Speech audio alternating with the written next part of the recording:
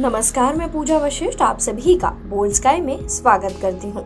Healthy रहने के लिए एक्सरसाइज करना बेहद आवश्यक है। हालाँकि सही एक्सरसाइज और उसे करने का सही तरीका आपको मैक्सिमम बेनिफिट देता है। यूँ तो आप खुद को फिट करने के लिए कई तरह की एक्सरसाइज कर सकते हैं, लेकिन अगर आप अपनी लोअर बॉडी पर काम करना चाहते हैं तो आपको डक वॉक एक्सरसाइज करनी चाहिए।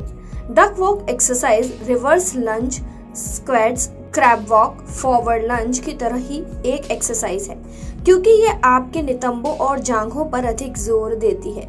इस एक्सरसाइज को करना इसलिए भी अच्छा माना जाता है क्योंकि ग्लूटस और जांग की मांसपेशियाँ बड़ी मांसपेशियाँ होती हैं, जिन पर काम करना आम तौर पर मुश्किल होता है और इसलिए डक वॉक एक्सरसाइज करने से इन मसल्स पर फोकस करना और उन्हें मज़बूत करना अधिक आसान हो जाता है तो चलिए इस वीडियो में जानते हैं कि डक वॉक एक्सरसाइज के फ़ायदे क्या हैं और उसे करने का सही तरीका क्या है डक वॉक एक्सरसाइज करने के लिए आप सबसे पहले अपने पैरों को चौड़ा करके खड़े हो जाएँ।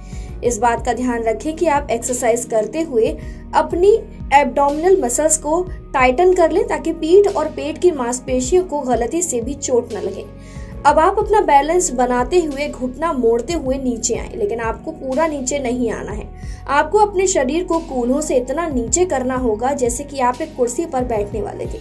आपका पूरा भार एड़ियों पर होना चाहिए। यह स्कॉट्स जैसी पोजीशन होगी। डक वॉक एक्सरसाइज करते हुए अपने हाथों को अपनी छाती के सामने रखें। इससे आपको बैलेंस बनाने में मदद मिलेगी। अब आप हल्का हल्का पैर उठाते हुए कुछ कदम आगे बढ़े और फिर वापस उस स्थान पर वापस आए, जहाँ से आपने शुरू किया था। अब आप धीरे धीरे खड़े हो जाओ। ये सलाह दी जाती है कि डक वॉक एक्सरसाइज करते समय आपको अपना संतुलन बनाए रखने के लिए आगे की ओर झुकना चाहिए, ताकि ये सुनिश्चित हो सके कि वज़न एड़ी पर बना रहे।